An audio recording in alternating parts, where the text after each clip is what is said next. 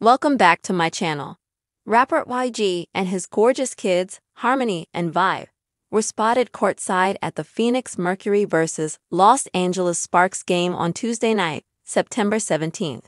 The game, staged at the Crypto.com arena, saw the Phoenix Mercury pull off a dramatic 85-81 comeback triumph, but it was YG's lovely father-daughter moment that drew notice.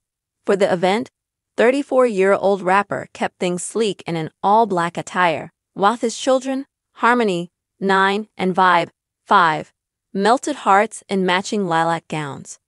For YG, who co-parents his children with ex Catelyn Sparks, parenting comes first.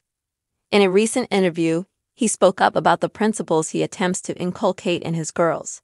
Like when you're raising a kid, like what you teach them at a young age, you feel me? They're going to grow up with that and started them, he stated. The artist has a hands on approach to parenting, noting that when he finds his children doing something wrong, he handles it quickly.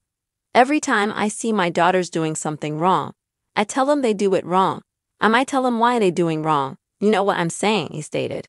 He said, It's very important because if you don't shape your kids at a young age, you feel going to grow up and be however they be.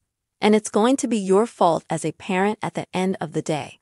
In addition to his job as a doting parent, YG has had a busy year professionally.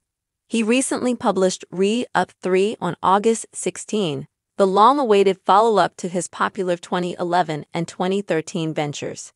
Featuring collaborations with notable artists like T Dolla Dollar Ein, Saweetie, Lil Yachty, and Mozzy, the album covers 19 tracks across two discs and has been lauded for encapsulating YG's characteristic West Coast sound while displaying his artistic progress.